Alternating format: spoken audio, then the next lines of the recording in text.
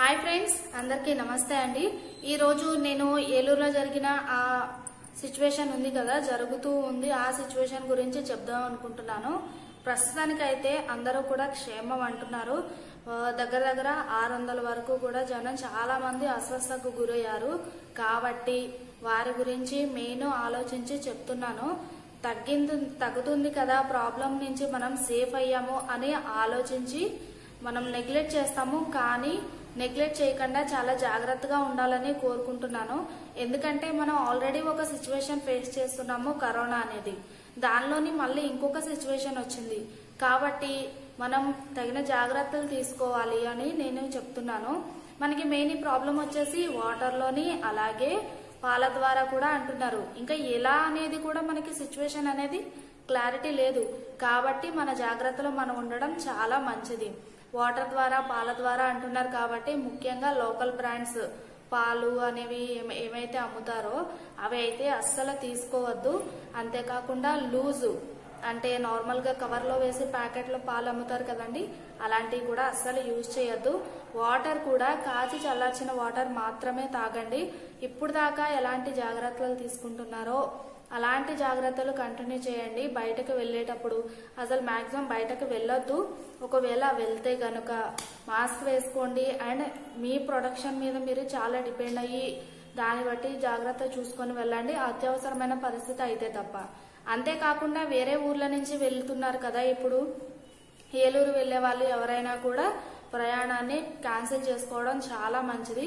అత్యవసర పరిస్థితి అయితే మాత్రం తప్పదు. కానీ అత్యవసరం కాకుండా నార్మల్గా అయితే మాత్రం ఏలూరుకు వెళ్ళడం చాలా డేంజరస్ అని నా సజెషన్ అండి.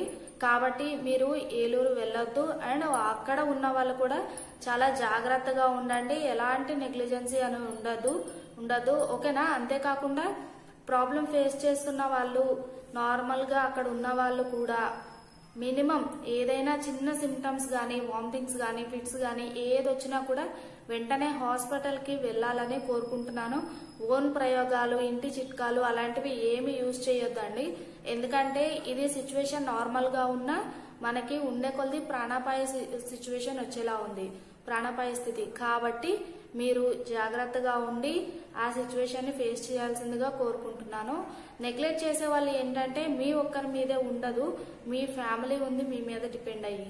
కాబట్టి ఎవరు కూడా నెగ్లెక్ట్ చేయకండి. చిన్నవాళ్ళని పెద్దవాళ్ళని కూడా చాలా జాగ్రత్తగా చూసుకోండి. ఓకేనా? ఎవరు కూడా ఏమైపోతామో ఏమైపోతామో అన్న ఆలోచన కూడా మైండ్లో ఎక్కువగా టెన్షన్ పెట్టుకోవద్దు. ఎందుకంటే మన ఆలోచన విధానం బట్టి మనిషిని కృంగదీస్తుంది. కాబట్టి మీరు చాలా జాగ్రత్తగా ఆలోచించే విధానం కానీ మనం ఆచరించే విధానం కానీ ఏదైనా కూడా సక్రమంగా ఉండేటట్టుగా చూసుకోండి. వాటర్ తాగేటివి అన్ని కూడా చాలా జాగ్రత్తగా ఉండండి. వాళ్ళకి అందరూ కూడా డైరెక్ట్గా వెళ్ళి సాయం చేయలేరు కదండి. కాబట్టి ఇలాంటి సిచ్యువేషన్ గురించి మనం తగిన జాగ్రత్తలు ఇలాంటివి షేర్ చేయడం ద్వారా కూడా అందరికీ తెలుస్తుంది.